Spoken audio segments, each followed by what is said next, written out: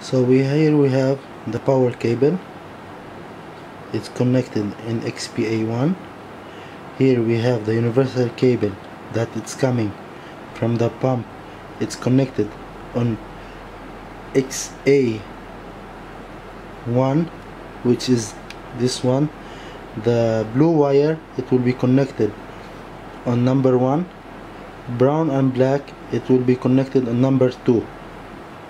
Both of them black and brown it should be attached together. So the sensor here I have the conductivity sensor which is coming as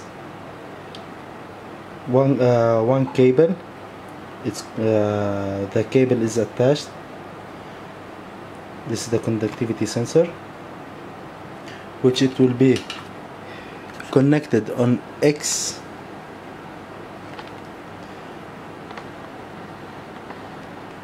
on XE3 and XE4 and the red wire it will be connected on XE2 so as you can see here at the at the sensor the black will go on XE3 number 1 then blue number 2 in XE4 it will go yellow and green it's coming the uh, the wire.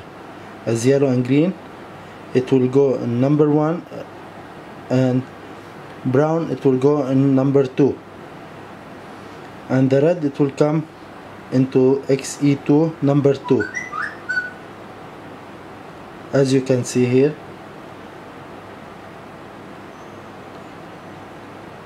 This is as for the setup and how you can wire the, uh, the compact controller conductivity. So here we have a Sigma pump which is control version. Uh, we have two types of control version the old the model which is this one or the new model. Both we both we can uh, put them both at this uh, we can uh, change the mode is the same. We press on the P and we keep we keep pressing until it's coming this screen. So here we can change for what we need. We need a mode. We'll press again P.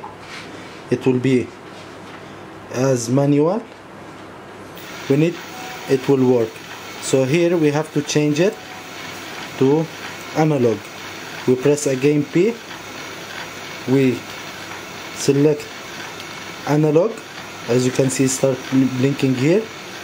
We'll press P. So now it's giving me an error. Because the controller is off. As you can see here the controller is off. And there is no sensor. The sensor is not on the water already. Here we run the controller it's still adjusting. We'll put the sensor inside the water. Just like this.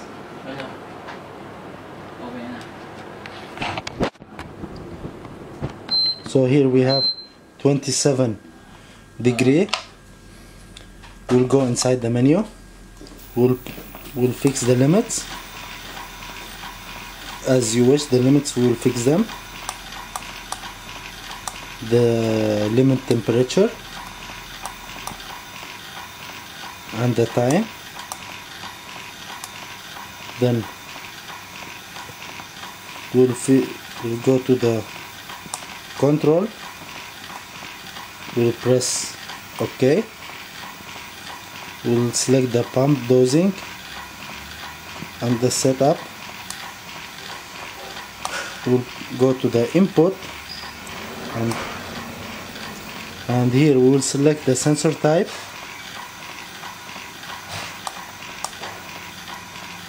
This let us put on stop. Now I stopped it already. Then we'll go to the output. Alarm dosing. Here we'll go inside. If you if you put unused or dosing it should be dosing. Here alarm or unused dosing limit alarm. I actually I, I put on alarm it depends on your use. Here pump max 180 stroke per minute. You can adjust it as you wish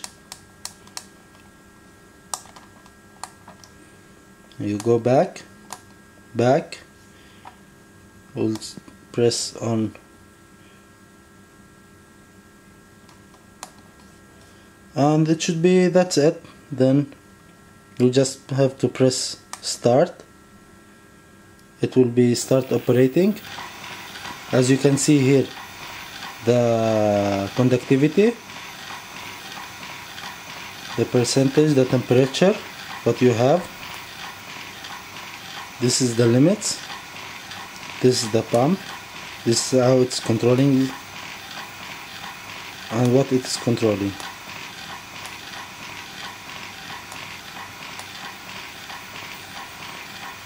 If we remove the water uh, the sensor from the water you will be able to see the conductivity is already is going down but as we set the limits it should be it should keep working because uh, as we set the limits. So it should be okay. Like this should be work as on automatic mode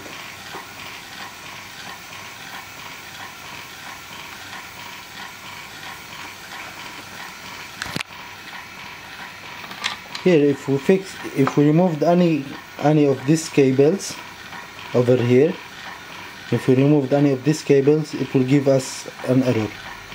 If we removed any of these cables the pump it will not work.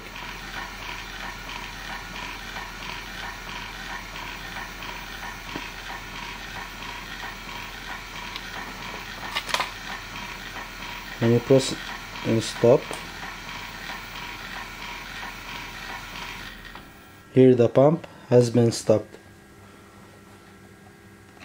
When we press start again it give us the frequency as 90